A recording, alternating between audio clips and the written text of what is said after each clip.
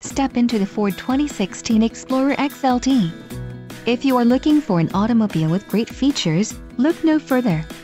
Some of the top features included with this vehicle are 3.39 non-limited slip axle ratio, 18 painted aluminum wheels, radio, AM-FM stereo with single CD MP3 capable, sync, 4-wheel disc brakes, 6 speakers, air conditioning, electronic stability control and front bucket seats. Let us put you in the driver's seat today. Call or click to contact our dealership.